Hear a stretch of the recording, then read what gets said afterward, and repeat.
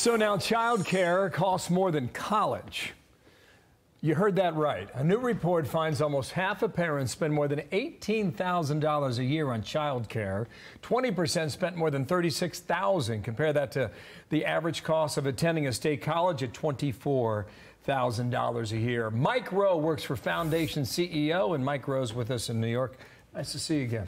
Nice to Got be in the newsroom. Yeah, okay. Love numbers. Uh, 35% of parents tap into their savings account mm -hmm. to cover child care. 68% had only six months worth of savings before they run out for good. You can't, you can't go very far on that, Mike. Look, I mean, I've been hearing a lot lately about why aren't people having kids? What the heck's going on? And I'm probably the wrong one to ask that since I don't have any. But man, I get it. You start looking at the numbers. Like what, what actually happened?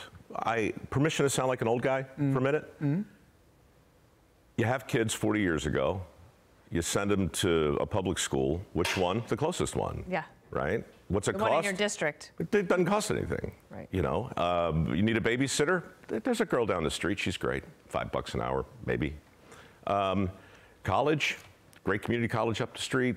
Cost hadn't gone bananas yet. It just it it feels like on every single front, people have sat down to say, "I dare you. I dare you to raise a family." The guy was, we were talking in the break about a buddy of mine in Greenwich yesterday. Now, Greenwich is not the USA, but 40, 50, 60,000 dollars a year in elementary school.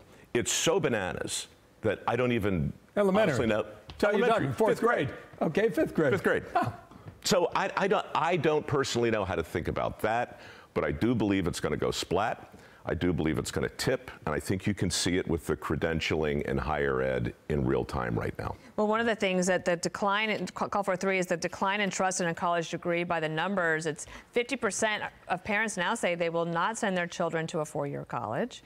And two out of three high school students think they'll be fine without a college degree. And look at this, call for five. Here are some of the companies that are reducing or eliminating college degree requirements for jobs. And you recognize there's a lot of companies there that people might want to work for. That's big. It's really big. There's some great research. A guy named Todd Rose over at a think tank called Populace wrote a book called Collective Illusions.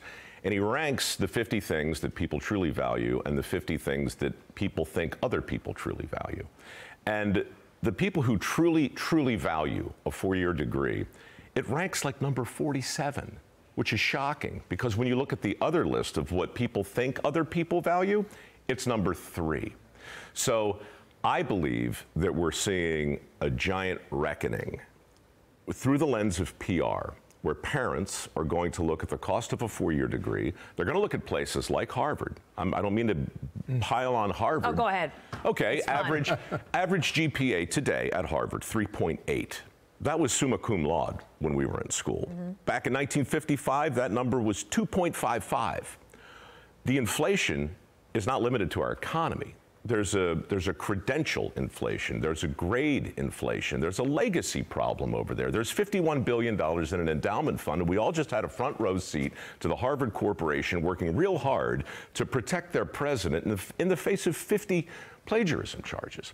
So you can't blame a parent for looking at all that and going, yeah, maybe not that. That 51 billion can pay for tuition to the end of time. Right? It's a lot of it's forever. A, it's a lot of cabbage, man. It's a lot. Meanwhile, shameless plug, my foundation on average awards work ethic scholarships to the tune of eight or nine grand. We're training welders and steam fitters and pipe fitters and electricians and heating and air conditioning. And I, every day I talk to people who come through that path.